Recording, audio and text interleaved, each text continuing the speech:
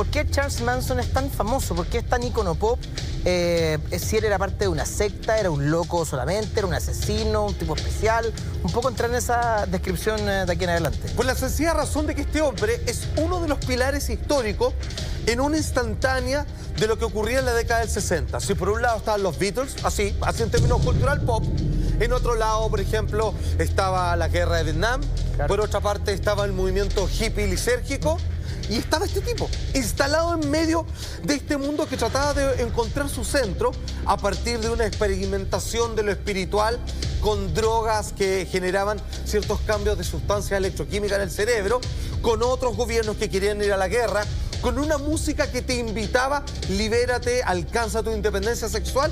En medio de toda esa convoconía estaba este hombre que de repente decía, no creo en el sistema y el sistema lo voy a destruir. Y cualquiera que se me ponga al frente, lo voy a destruir de la manera más escabrosa que tú te puedas imaginar este hombre que finalmente estaba eh, condenado a una cadena perpetua infinita en esta ocasión, porque eran varias las que caían sobre él, finalmente muere a los, a los 83 años, como dice este titular. Atención, el asesino, o sea, digamos, ahí se resume todo, el asesino Charles Manson muere a los 83 años, esto fue a las 8.13 pm, hora California, 1.13 de la mañana para nosotros en Chile. Pero él estaba en un centro hospitalario desde el miércoles pasado, no se conocía mucho su condición, en más de alguna oportunidad ha habido caído ahí, pero finalmente no despertó más. Esto de, que murió de manera natural. Este esto de hierba mala nunca muere, perdona, aquí se cumple, ochenta y tantos años, vivió casi hasta de matarlo, el hombre tenía un carisma especial, o sea, realmente es un pequeño Hitler.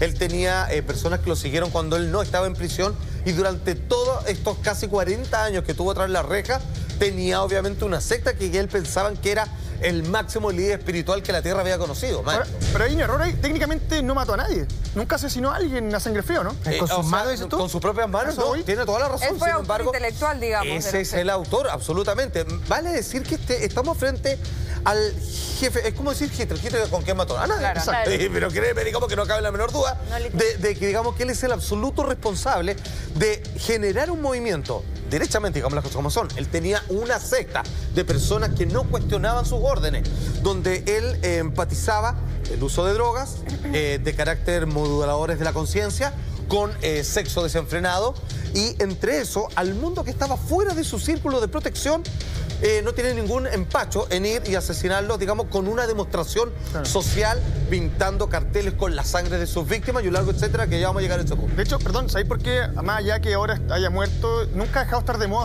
o, ha, dejado de ser un ícono pop? ¿Sabéis por qué? De hecho, una serie que está en Netflix se llama Mindhunter, que plantea eh, y empieza a buscar la psicología de los asesinos, y todos plantean que está desde él después de Charles Manson, año antes y después en la historia criminalística de Estados Unidos. Nunca antes se vio un caso como las atrocidades que cometió la familia Manson antes, por lo cual cambió toda la psicología forense a la hora de poder buscar y identificar este tipo de psicópatas. Tiene muy buen punto, porque lo, que plantea esta serie que, acaba de mencionar es que en qué momento, qué, qué le pasó a la sociedad humana que cualquier asesino antes era por un objetivo de alguna necesidad básica. Vale decir, yo mato a alguien porque amenaza mi vida o mis seres queridos.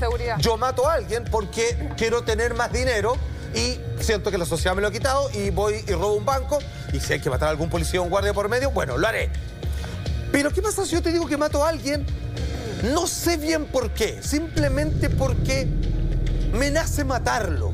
¿Qué se hace con ese tipo de persona? ¿En qué momento, cuando la sobreindustrialización de las sociedades termina haciendo nacer criaturas, seres humanos con esta naturaleza, que ya no tiene que ver con la corrupción del poder como un del mal. emperador, sino es gente mala, excelente Cristian, porque fíjate que este fue uno de los primeros hombres que hicieron que los científicos, antropólogos, neurocientíficos y psicólogos generaran la terminología de existe el gen del mal, vale decir, hay personas que nacen malas porque alguien se puede explicar a partir de sus condiciones, su niñez, digamos, su entorno, pero hay personas que no importa en qué cuna, en qué clase social, en qué país hubieran nacido, iban a ser los bellacos como este tipo, eh, ya cualquiera sea la circunstancia.